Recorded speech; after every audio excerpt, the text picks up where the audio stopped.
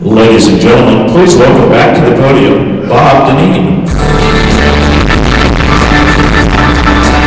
Good morning, everyone.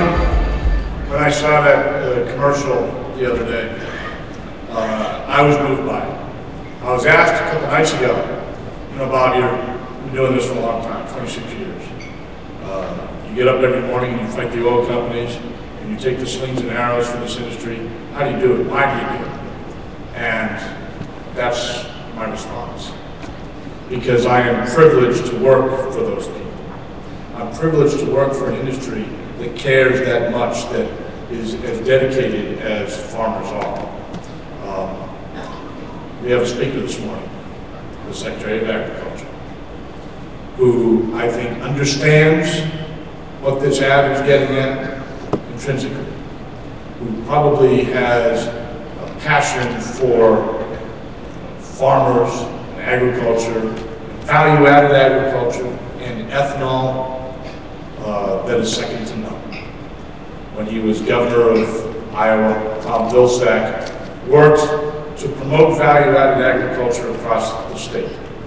As the Secretary of Agriculture, he has done so across the entire country, and he has made promoting ethanol specifically one of his top priorities.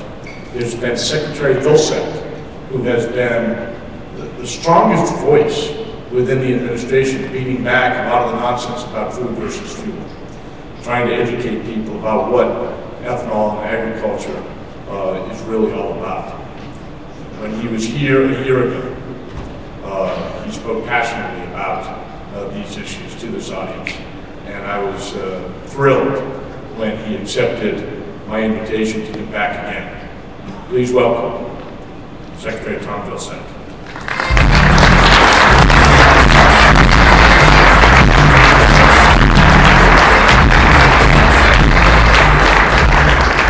Well, good morning uh, to everyone, and Bob, thanks very much for that uh, kind introduction, although I'll tell you, it's uh, pretty doggone tough to follow that ad. Uh, I don't know about all of you, but uh, I'm a Steeler fan, so it's really hard for me to watch the Super Bowl. So I watched it for the ads, and I'm glad I did. Uh, that's, it was just a wonderful, wonderful ad, and we're we're uh, sending a message to the Chrysler Company, thanking them for putting the spotlight on, on the American farmer. Uh, it's well uh, deserved. You know, if you stop and think about the importance of um, the American farmer, or you think of more, more generally the importance of rural America, it is a place that in so many parts of this country is not fully appreciated or recognized. I mean, after all, it is the place where almost all of the food that we consume comes from. 85% of everything that Americans consume is grown and raised here in the United States, and because of that, we are a food secure nation. Uh, unlike virtually any other nation in the world, we have the capacity produce most, if not all, of what we need to survive. Makes us a stronger nation comes from rural America. And then every day we wake up in the morning and we have a cup of coffee or we take a drink of water. We don't really stop and think about where that water comes from or, or who may have worked to make sure that we actually had that water to drink. But when you consider that nearly 80% of the surface water drinking water in this country is impacted and affected by what happens in rural areas, you realize that rural America is responsible for a good part of our water supply.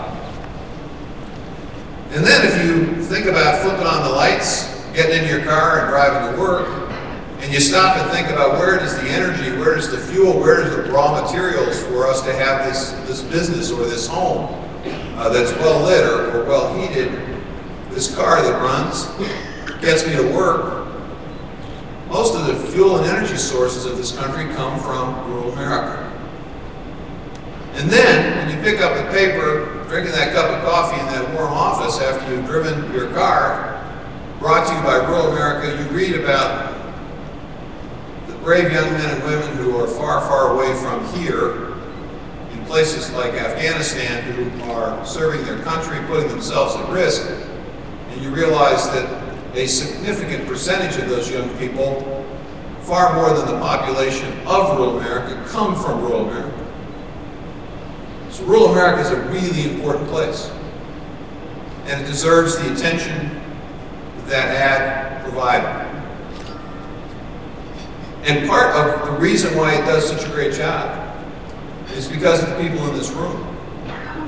Because a critical component to the success of rural America is in that renewable fuel and energy industry. You folks are responsible for increasing farm income. For the last couple of years, we've had some of the best farm income we've ever had in the history of the country. You're responsible in part for record years in exports. You're helping to support nearly 380,000 jobs. People who live, work, and raise their families perhaps in small towns, but also in cities, are beholden to this industry. You've generated over $30 billion of family income. You've helped promote $43 billion of gross domestic product uh, that keeps this country's economy going. You provide that consumer when they come to the pump a choice, an opportunity to have less expensive gas. Pick your study, it's somewhere between 25 cents a gallon and maybe as much as $1.39 a gallon that that consumer saves because of the people in this room and the work that you do and the industry you represent. You're helping us to reduce our reliance on foreign oil. We're now below 50% of the oil that's used in this country being imported. And that's something that people do recognize strengthens us. A recent study from Texas A&M said that nearly 80% of America felt that reducing our reliance on foreign oil was a matter of national security. And you're making it happen. And if that weren't enough, because of the innovation and entrepreneurship of the folks in this room, you're constantly looking for ways to do what you do more efficiently, more effectively, and you're producing, as a result of that, co-products and byproducts that are themselves an industry. Whether it's uh, DDGs or, or, or, chemicals that are being uh, produced, this industry is helping to promote entrepreneurship and small business development in America. You know, I've recently had the opportunity to visit some of these small entrepreneurial companies an outfit in Pennsylvania that's using wire technology to produce, uh, through high temperature water, an intermediary use uh, a product that's used in ethanol production, which will substantially reduce the cost of producing ethanol. An outfit in Wisconsin that's taking the corn cobs and producing plastic bottles. A, uh, a facility in Virginia that's working on taking plant material and producing fiber, uh, fiberglass product that could be used by automobile industry to produce a lighter and stronger auto body, which will allow us to meet fuel efficiency standards more easily. That's happening because of this industry. It's amazing. Unfortunately, it's a challenging industry. It's challenged in a lot of different ways. It's challenged by those who perpetuate the false debate that somehow you're asking us in this country of plenty you're asking us in this country of extraordinary farmers, the most productive farmers in the world, some folks are suggesting you're asking us to choose between fuel and food. You know that's not true. You know that because American agriculture is the second most productive aspect of our economy since 1980, we've been able to produce enough corn to meet our domestic needs, to continue to export, and also to use it for fuel. You know that a third of what you do and the crops that you use comes back in the form of a feed supplement that is allowing the livestock industry to essentially use less corn for weight gain. You're challenged by some in the environmental community who fail to recognize that this is a product that improves air quality and certainly has reduced this, the significant risk that other additives created to our water system. You're challenged with the regulatory area with folks suggesting that studies done by EPA and the Department of Energy weren't sufficient enough or adequate enough to support the notion that cars in this country could take indeed E15. You're being tested in the courts. You're being tested overseas with trade barriers and restrictions. You're being tested in the halls of Congress. Those who are suggesting that perhaps the RFS has outlived its purpose. You have to ask yourself, why all these challenges? Why now? Well, I believe there's a reason. And that reason is that you're winning. I'm sure it doesn't seem like it at times. But you are winning. You're making a difference. You're growing consumer choice. You're growing consumer demand. You're creating new opportunities. And the folks on the other side are a bit concerned that you're winning. So my message to you in part is you got to keep pushing on. You got to keep fighting because it's too important not to. Here's what's at stake. The survival of rural America. When the USDA was formed in 1862, nearly 90% of America lived or had contact with rural America. Today, that percentage is 16%. It's the lowest percent it's been in the history of our country. And as we diminish in the percentage of our population that live in rural America, we obviously see a diminished understanding of what goes on in rural America by those who have to make decisions. The political influence, if you will, of rural America is at risk. Because 84% of the folks in Congress represent 84% of the folks in this country who live, work, and raise their family not in small towns, not on farms, not on ranches, but in suburbs and in cities. Your industry has the capacity, is on the leading edge of being able to reverse what we've seen in rural America for far too long, and that is population declines. In this last census, 1,130 rural counties lost population. Only 320 gained population. Your industry and what can happen as a result of your industry can change that. So at stake is the survival of rural America. Also at stake is the capacity of this American economy to do what it's supposed to do, which is to enable people to work hard, play by rules, and to be able to profit and have some degree of social mobility so that they can move up the ladder, if you will, for more opportunities. For far too long, we've had an economy that has everybody sort of locked. It's difficult for the poor to become middle class. It's difficult for the middle class to become upper middle class. Your industry, reviving opportunity in rural areas, creating new opportunities for small business, developing new products, spawning new research, creating more jobs and good paying jobs and more income for farm families gives us the capacity to reinvigorate our economy so that it's more socially mobile. So how do you fight back? Let me give you a few suggestions. First of all, let's extend the influence of this group. We, we do a great job in agriculture in rural America talking to ourselves. We have conferences, we meet, we talk to ourselves, we pat each other in the back. We got to figure out how to talk to a broader audience. Let me give you one example. You have influences you don't even perhaps realize you've got. We have a series of changes taking place in the cabinet.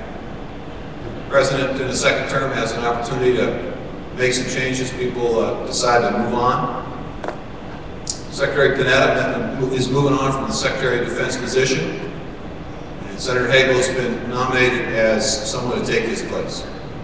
Now, why should that be of the least interest to the renewable fuel folks, outside of the fact that we're all concerned about defending the country? Well, because there's something going on in the Defense Department, and the Secretary of the Navy, Ray Mabus, has started, which is the notion that American military will be stronger and more vibrant if it can depend less on foreign oil for its fuel and more on domestically produced fuel. And so the Secretary of the Navy has set a fairly high goal of 50% of all that they need for their ships and their jets would be furnished through biofuel, domestically produced. Now, all of a sudden, that Secretary of the Navy has to speak to and has to advocate for that product or that program to the Secretary of Defense. And if we have somebody in the Secretary of Defense's office who is a advocate for this new fuel, it will be easier. We had it in Secretary Gates, we had it in Secretary Panetta, I believe we will have it in Secretary Hagel if he gets confirmed. But we ought to be out there talking to. Senator Hagel, we ought to be out there supporting Senator Hagel so that when he gets in that position, he can reinforce and reaffirm what Secretary Mabus is attempting to do, because that will help grow the industry, that will help create more opportunity, that will allow us to create alliances and friendships and connections within the Defense Department, which will make it a little bit easier for folks on Congress, our friends in Congress, to support us when there are attacks on things like the RFS. I think it's important for this group to constructively engage with folks. There are some in the environmental community that do indeed understand and appreciate the environmental benefits of this fuel. And we ought to be working very closely with them to expand our reach and their understanding of what we do so that we can gain more advocates in the environmental community so they in turn can advocate on a relatively small number of people are in this business. I mean, when you think about the fact that less than one-tenth of 1% of America produces 85% of what we grow and raise, and you all are a subset of that one-tenth of 1%, you have to have more people talking on your behalf. There just simply aren't enough of us. Let's strategically align with some of these environmental groups. Have them help us so we can help them. We all are faced with a challenge with a changing climate, and we're all going to have to make the adaptation and, and mitigation uh, steps to, to, to uh, deal with these more intense storms that we're facing. Now is a great opportunity to develop a better relationship and a better level of communication between folks who may not have thought they have common ground but now do because you all have created that common ground. And that strategic alliance doesn't just involve national groups, it involves each of your state and local uh, groups. You are job creators. You are stimulating the economy in your lo local community and in your state. You've got chambers of commerce, you have economic development folks who, who you need to know and they need to know you. And, and you have suppliers and people who are doing business with you who are benefited from your industry, who need to be engaged in making sure that the member of Congress who represents them the senators who represent them understand and appreciate the importance of this industry in their lives, in their community, in their state. And they need to be engaged and encouraged to communicate that. I was a former governor and as a former state senator, and even as a former small town mayor, I understand the power of constituent outreach. Trust me, if staff members in a senator's office or a representative's office begin to hear from folks that they wouldn't expect to hear from. A Chamber of Commerce executive, an economic development uh, county director, uh, a supplier, or even a labor guy. Saying, you know, this industry is important because my members are basically shipping it all over the world. And my members' jobs are connected to this product. We really don't want it to go away. We don't want it to be diminished. It can make a difference. And the same is true for state and local governments. If mayors, city council, state representatives are involved in passing resolutions that support the industry and they send those resolutions to congressional offices and senate offices, it can make a difference when that person is asked, how do you feel about the RFS, what should be done to the RFS? Third thing is we need a proactive message. That ad is an example of a proactive message about the greatness and the significance and the importance of what you all are doing. And Bob Dinneen and, and, and many of the folks with the RFA do a terrific job of responding and reacting. But we need to amplify. We need to talk about those jobs that are being created, those families that are being supported. We, want we need to talk about the pride of putting America in a position where it's no longer as reliant on foreign oil as it once was we ought to be expressing the fact that we're, we're really pleased that a consumer is saving money and, and they're able to use that money for some other purpose to take care of their family because they're not paying as much as the pump, at the pump uh, than they otherwise would. A proactive message, and a proactive message that generates enthusiasm among young people. There are folks on land-grant universities who want to be you, who want to be farmers and entrepreneurs and innovators, who want to be the engineers that help your facilities become more efficient. Engage them in this, in, in this, in this challenge. Engage them in using the social media to get your message out. You may not have as much money as the petroleum industry. You may not have all the slick uh, consultants that they may have, but you have an army of young people who understand the social media, who can blanket that media with a message that overcomes the paid media. You've got kids in FFA and 4-H who understand the importance of this industry. Use them. Inspire them. And finally, we need to make sure that the advancements that are taking place actually get in the market. It's time that we make a concerted effort to get the advanced biofuels into the market because that will also mute some of the criticism. That, that, that will raise some of the skepticism about whether or not there is indeed a, a, a extensive future for this industry using non-food feedstocks. This is so important. This is so important because I believe you all have opened up an awareness on the part of folks like me that rural America can drive a different, changed American economy. Less reliant on foreign sources, more innovative, more creative. I mean, the notion of being able to take a corn cob and producing a plastic bottle that is sold by a soft drink company all over the world that's 100% recyclable, 100% biodegradable, 100% renewable.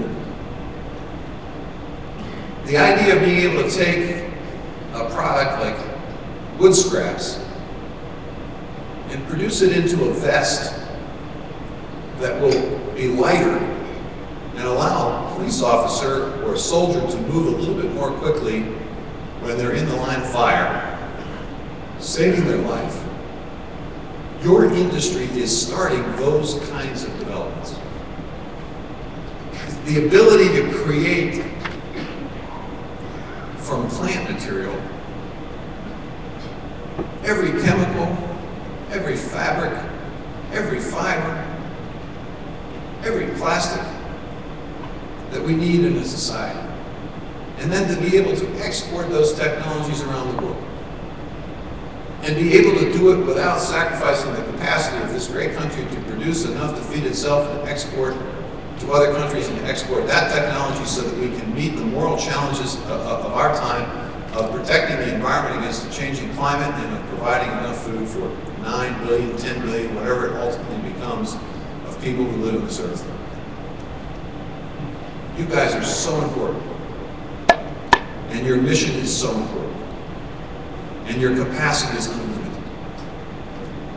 Yes, the times are tough. And yes, it's hard pencil it out.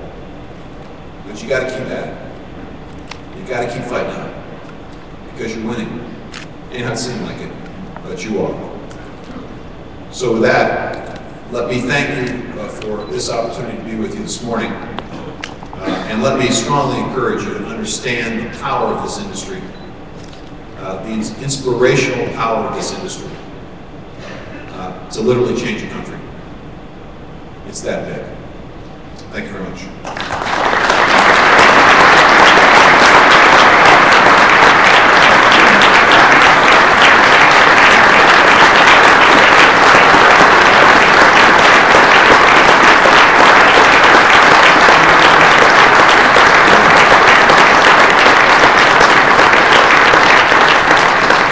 Mr. Secretary, thank you very, very much.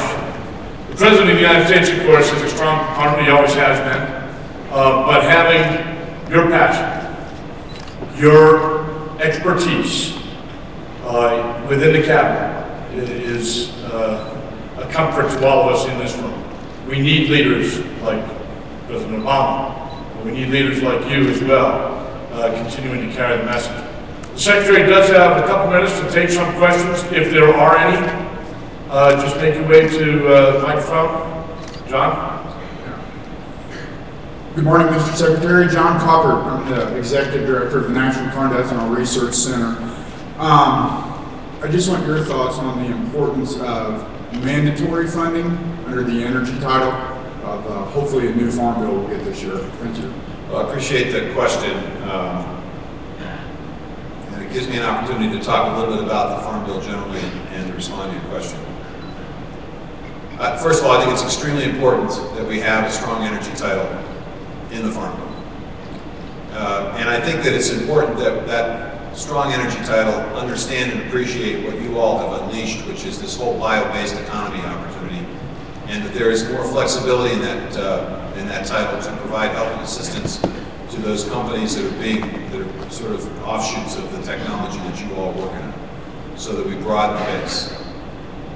And, and we're, we- are really committed to this. We're really committed to it because if you're going to rebuild the rural economy, there are four cornerstones to it, and each of these cornerstones has to be supported in any kind of legislation that's passed. First, you obviously have production agriculture in its capacity not only to produce for ourselves, but to export. And I'm proud of the fact that we've had the four best export years in the history of the United States. While I've been secretary, and we're expecting a record year this year. We want to keep that up. So there has to be a strong trade title, there has to be strong support for production agriculture, there has to be an appropriate safety net. Secondly, we have got to encourage conservation. And we have to link that conservation to outdoor recreation. Uh, Outdoor recreation is a $656 billion industry. And we don't do as good a job as we should in connecting what we do in conservation, expanding habitat, improving landscapes, and bringing people from cities and suburbs take advantage of what it is we're creating in terms of hunting or fishing, or biking or hiking opportunities. I think the president's designation, uh, is- his designation from Secretary of Interior, uh, who is essentially right now the CEO of REI, is an indication of how important the president puts on that linkage. So conservation, outdoor recreation. Third is local regional food systems. Not everybody can play at the, at the big table. Uh, So if you can create local markets and, and regional markets, creates that, gives that smaller operator a chance to, to, to play as well. And we want that because we want people to feel free to be able to farm and encourage uh, producers of all sizes. And I'm proud of the fact that we've seen not just a record number of acres enrolled in conservation in this administration, but also record expansion of local and regional food systems. And then finally, the bio-based economy. All that has to be in a farm. Now, we're facing a challenge. And the challenge is, first and foremost, the budget. You know, in the next couple of weeks, Congress has a pretty important decision to make whether or not they're going to trigger what is called sequester. And what that is, is essentially if they fail to act, then automatically on March 1st, what goes into effect is an across-the-board cut for virtually every agency, every line item of every agency. The effects will be extraordinary. I'll just give you one effect.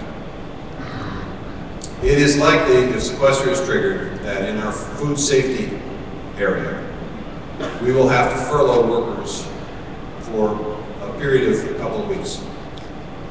And you say, well, yeah, everybody gets a couple weeks vacation.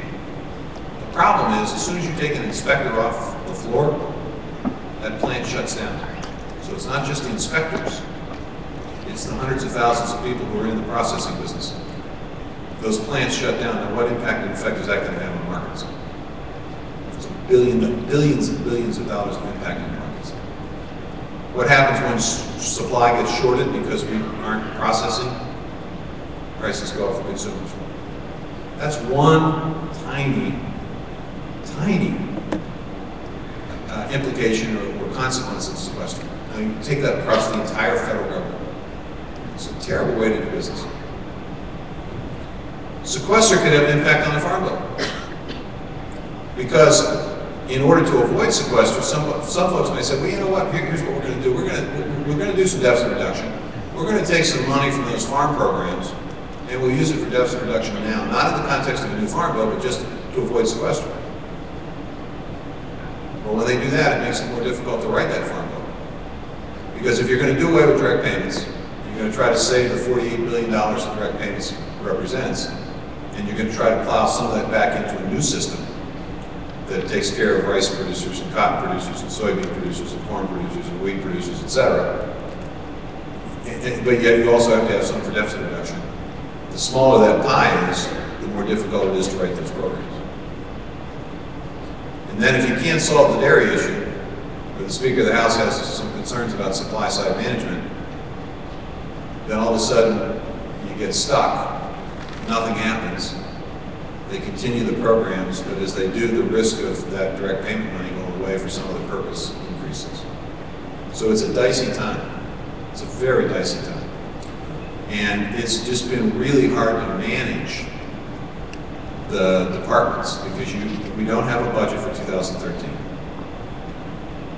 We don't have a, we don't know whether we're going to be faced with this cut. And if we get a cut, we have to institute it in six months, the remaining six months of the fiscal year. So, so whatever the percentage is, let's say it's a 5% cut, it actually is the effect of a 10% cut because it's 5% over the course of the entire year, but you only got a half a year to institute. It's, it's a 10% cut. And we've already had our budget cut by 12.5%. So, in, in an area where you're so heavily dependent on people, there's just only so much you can do. We've already saved over $100 million in USDA by cutting travel, conferences, strategic sourcing. We have a very aggressive and very comprehensive effort to try to become more efficient, but it takes time to create those efficiencies.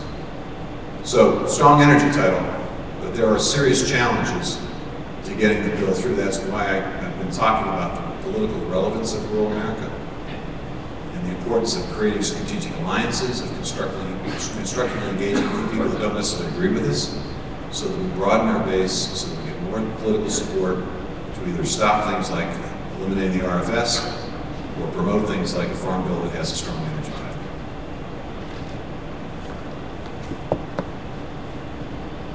Morning, Mr. Secretary. Greg Krissek, ICM, Colwich, Kansas. Thank you for your advocacy and support on our behalf, especially with your counterparts at um, EPA. And I wonder, you know, as they have more and more impact on our industry, especially as the priority, you mentioned the advanced biofuels, even such as for my corn fiber, could you give us a little perspective on what the EPA of the next several years looks like compared to what we've experienced, both positive and sometimes challenging over the last couple of years? Well, I'm having a hard enough time running my own place. Uh, but let me, let me say a couple of things. First of all, uh, when Lisa Jackson left, she, someone asked her, one of the reporters asked her if there was anything she regretted. And, you know, that's a, when you're in a position of authority as, as white hot as that place is for four years, I, I imagine you, that, that question really probably makes you pause and think. But, but her answer was interesting and I think insightful. She said, you know, the one thing I regret is that, that and I'm paraphrasing what she said, is that I, I, when I went into this job, I didn't have quite the understanding about rural America that I needed to have. And, you know, that says a lot about her as a person. Because I, we, we went over to EPA, I went over to EPA and I said, you know, you gotta get to know these people. You need to travel out there, you need to visit with farmers, you need to have regular meetings with people so that you understand how they're interpreting, how they're hearing what it is that you all are attempting to do here, and, and understanding that you're attempting to do something because Congress has told you you have to do it, or because some judge has, has, has forced you to do it. And to her credit, she did that, and I think as she did, she began to realize, you know, how hard it is. Um, now, I think the fact that she expressed that is helpful in terms of whoever the next EPA administrator is. Because I can tell you that one thing I will do is when that person is announced, I will call or, or, or write or, or sit down with that person very early in the process and say, look, we had a great relationship with Lisa Jackson. You know, we had the ability to communicate, we were friends. Uh, we tried to work through problems, we tried to mitigate situations that were touchy for both uh, EPA and USDA. I'd like to continue that, uh, that relationship and we'd like to point out that Lisa really wishes if she had to do it over again, that she had a better understanding of rural America. And really strongly encourage you to learn from that piece of advice.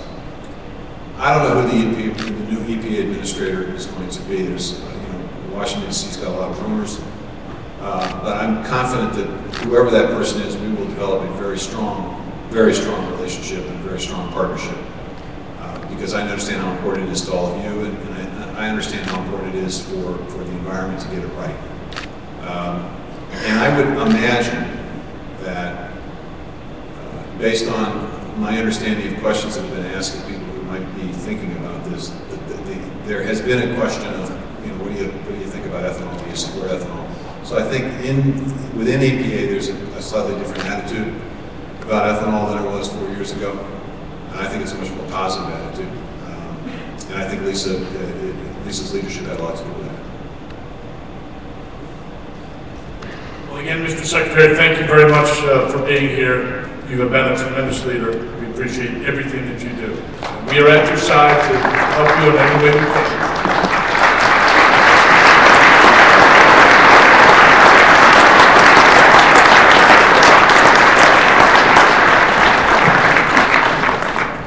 Great leader. This industry's been built uh, with great leadership.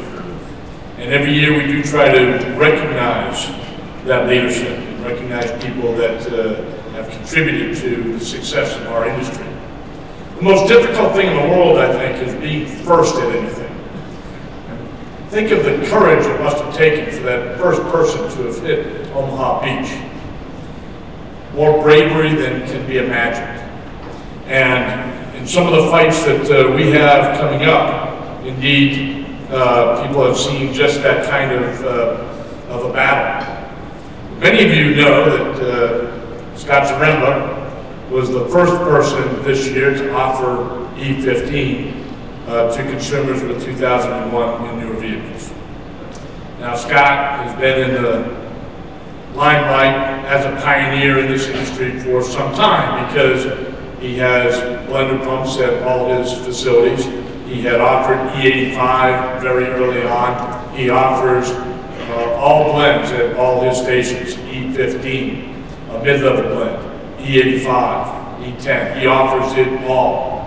Uh, and he has uh, done so uh, taking the slings and arrows from his competitors, his supplier, uh, who haven't been as enthusiastic about promoting American agriculture and farming.